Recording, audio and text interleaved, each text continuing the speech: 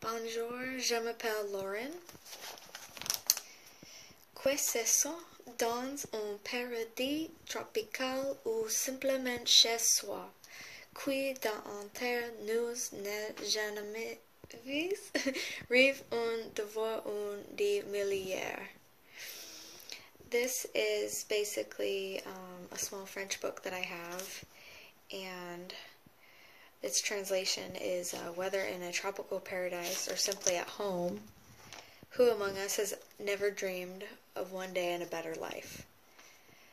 Uh, and I'll read it again. Que ce soit dans un paradis tropical ou simplement chez soi, qui d'entre nous n'a jamais rêvé un jour une vie milliard. Thank you.